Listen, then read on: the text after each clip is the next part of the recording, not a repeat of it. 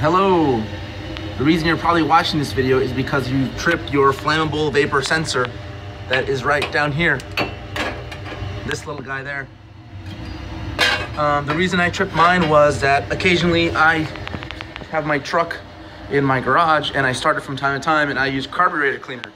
That's what started it. So that tripped my vapor sensor and I didn't know that until uh, I called somebody and asked. I was watching YouTube videos and I, this is a video that I wish I that I wish I would have saw. What I ended up doing was uh, the way you'll know that if you tripped it is you'll have a green light there and then you'll have an orange light there. Those two lights will be on telling you that you tripped your sensor.